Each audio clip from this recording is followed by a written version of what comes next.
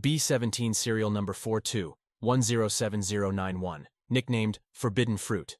It was a 452nd Bomb Group B-17. Forbidden Fruit was damaged by flak on May 8, 1944, killing the tail gunner. Co-pilot, top turret gunner, and radio operator were wounded. Blood was all over the plane, said the left waist gunner. It was forced to make a crash landing at base in England with no other injuries to the crew members. But it clipped a crash truck and fatally injured a member.